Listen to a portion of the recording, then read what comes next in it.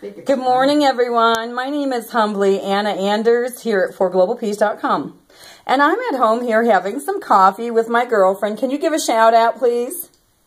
Hello? Hello, hello. So this is my girlfriend here. She's talking right now. I'm going to move this can over to my table. I'm not going to put you on camera at all. We're going to keep you anonymous, right? Yes. And is that okay if I shoot this video with you being anonymous? Yes. Thank you. Um, so what I want to say is my girlfriend here, when I first moved into corrupt Cleveland, Ohio, folks, just recently relocating from the south, corrupt Southwest, um, what happened was my girlfriend here, we're going to keep you anonymous. Can I use Yes. your, do you mind if I use your first initial as referring to you? Is that okay? Uh, how about a B for Bella? B for Bella. There we go, Bella. Very good. I like that. So anyways, Bella, what I want to say is when you helped me to first move in from the Southwest, um, how did I appear to you? Did I appear stressed out or anything? Because you, you knew me from before, right, Bella? Uh, stressed and very, very tired. Okay, but what I want to say is you knew me from before. You've Yes. seen you've seen my personality, my being, everything before, right? Yeah. And so, did I look the same as I did when you first met me originally when I first came back from the Southwest? Yes or no? No. No. And what do you think all that stress was about for me, Bella? Very, very, very stressed I mean- because you were being very, very followed Very, very followed by who, by Bella? the police. By the police, Bella. Yeah. And I told you about that on many occasions, right? Many, many, many.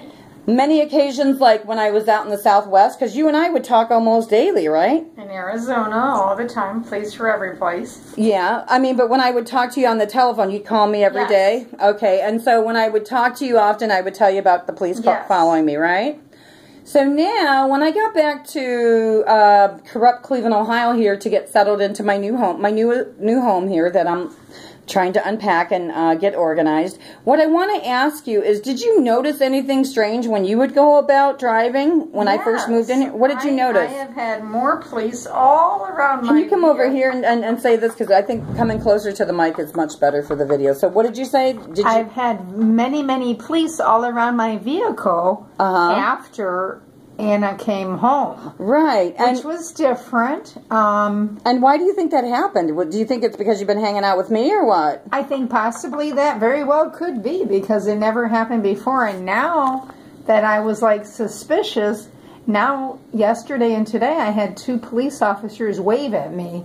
Fo- But they're following And they you and they wave. All of a sudden they're changing Yes. their attitude of, and they're waving and being nice to Yes. you, right? Okay. Yes. So do you find that strange? Ha- Have you? I it's very unique and different. I don't understand it. Okay, but now I want to ask you, have you ever, your whole life of driving as an adult, have you ever had a police officer come around you and then all of a sudden wave at No, you? So this is your first time in your adult life Yep, that they yep. drove by Yep. you yesterday and today Yep. And they waved at you Yes. like hello. Yes. And they made fa- unique. face contact with you. Yes. Okay, very, good. Different. And what community did this happen in? it happened in Cleveland, Okay, Cleveland or Garfield? uh, Garfield. Very good. Yeah, because that's more specific. So that tells, because Cleveland police officers are way different than Garfield.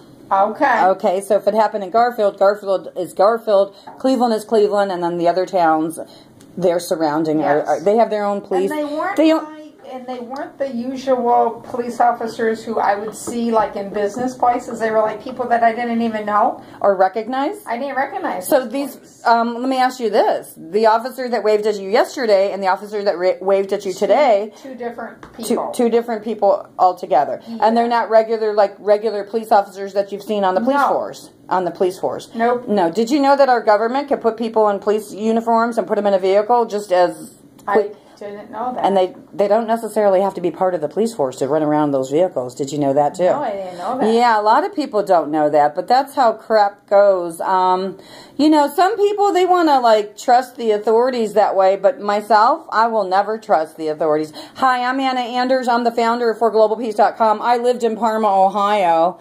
Um, and yes, I know it was many moons ago, and yes, I know people want to say, "Oh, get over it," but no, I will not get over it because um, what I want to say is this. Um, yeah, I know what I saw and experienced at 7011 Virginia Avenue, Parma, Ohio.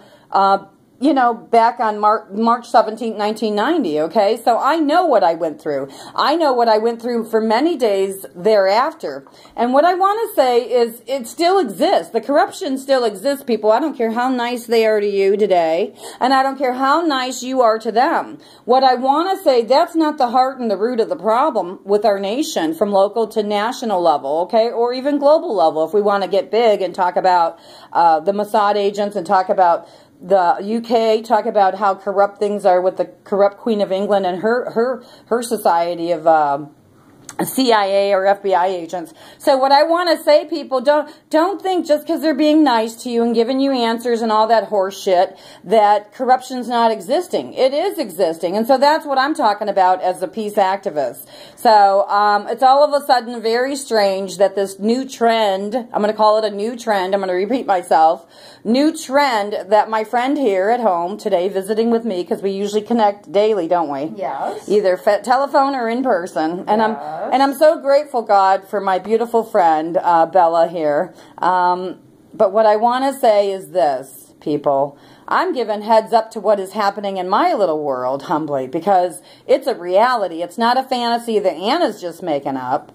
So uh, what I'm doing is I'm taking up the truth. And the truth is I do get followed by the police how many times did it, on that Saturday of going to the Al-Anon meeting? Many. Many times over. So, and this was just recently here. So, yeah, um, what I want to know, I mean, because if people, people, if you really want to support me and support this cause, then hey, show up in your blue uniforms and I'll be more than happy to give you one of these stickers to put on your patrol car or to put on your personal and private vehicle when, for when you're off duty, okay?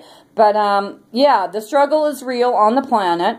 And it's really real for real peace activists and real activists that want to expose the corruption and disruption in human life and human values and the oppression of it, okay? Because that this is an act of an oppression when you're being followed constantly by the police. That's exactly why I left, and I'm giving the peace sign, Flagstaff, Arizona. How can you make peace flags with being uh, oppressed, politically speaking, and targeted, okay? I'm getting off the phone, off the video now, but I'll reshoot in here in a second. Thank you so much. Bye-bye.